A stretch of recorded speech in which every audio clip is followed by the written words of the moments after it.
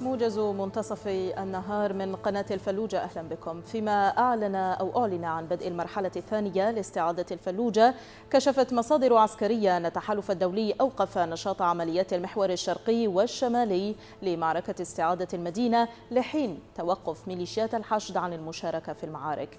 وأكد مصدر عسكري بدء المرحلة الثانية من عمليات استعادة الفلوجة من سيطرة تنظيم داعش مضيفا أنها ستشهد تقدما من عدة محاور بإسناد التحالف الدولي والحشد العشائري. قتل أربعة مدنيين وأصيب 17 بقصف لميليشيات الحشد الشعبي على مخيم للنازحين جنوبي الفلوجة وقالت مصادر محلية أن قصف الميليشيات استهدف مخيما للأسر النازحة من مدينة الفلوجة أقامته في ملعب شعبي بمنطقة العجربية مؤكدة أن معظم الضحايا من النساء والأطفال. هذا ويخشى الأهالي من استمرار القصف العشوائي ضد المدينة وأطرافها ما يزيد احتمال وقوع خسائر كبيرة بالأرواح بين المدنيين. قتل 35 جنديا من القوات الحكومية وميليشيات الحشد الشعبي بتفجير انتحاري استهدف تجمعاتهم قرب مدينة الفلوجة. وذكر موقع تابع لتنظيم داعش أن مقاتلي تنظيم شنوا هجمات بمركبات ملغمة على محوري الجرمة والصقلاوية فيما قالت مصادر الجيش أن القوات الأمنية اقتربت من الخط السريع الذي يحاذي الفلوجة بهدف تضييق الخناق على التنظيم داخل المدينة. وصف المجمع الفقهي العراقي ما تتعرض له مدينة الفلوجة بأنه سياسة العقاب الجماعي على المدينة.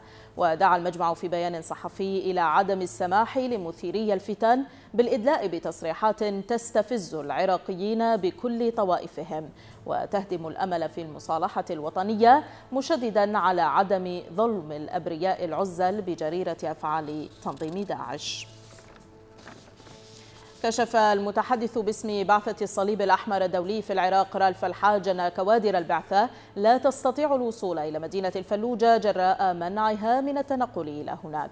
وأكد رالف أن المنظمة لم تتلقى ردا من الجهات الحكومية على طلباتها المتكررة للسماح لها بدخول المدينة وتقديم المساعدات الإنسانية للمدنيين المحاصرين داخلها. وأضاف المتحدث أن أعدادا كبيرة من السكان عالقون في خطوط النار ولا تستطيع أي منظمة إنسانية الوصول إليهم. حذر برنامج الغذاء العالمي التابع للأمم المتحدة من نقص مخزون الغذاء بشكل كبير في مدينة الفلوجة بسبب المعارك بين القوات الحكومية وتنظيم داعش. وقالت المتحدثة باسم البرنامج في منطقة الشرق الأوسط وشمال إفريقيا عبير عطيفة إن الهجمات التي تقوم بها القوات العراقية قطعت طرق دخول الغذاء إلى المدينة ولجأ بعض السكان إلى أكل الحشائش للبقاء على قيد الحياة. وأضافت عاطفة أن الحصار المفروض على المدينة منذ عامين فاقم معاناة المدنيين وتسبب بارتفاع كبير في أسعار السلع الموجودة فيها. ميدانيا انطلقت اليوم عملية عسكرية لاستعادة جزيرة الخالدية شمال شرق الرمادي وأفاد مراسل قناة الفلوجة أن عملية عسكرية انطلقت من عمرية الفلوجة باتجاه نهر الفرات لاستعادة جزيرة الخالدية باتجاه الجسر الياباني في الفلوجة. مضيفا أن اشتباكات عنيفة اندلعت بين القوات الحكومية وتنظيم داعش. توقع قائد جهاز مكافحة الإرهاب عبد الغني الأسد اقتحام مدينة الفلوجة أنه سيكون خلال اليومين المقبلين. وقال الأسد في تصريحات صحفية إن القوات العسكرية بجميع صفوفها أحكمت سيطرتها على أطراف المدينة استعدادا لدخولها.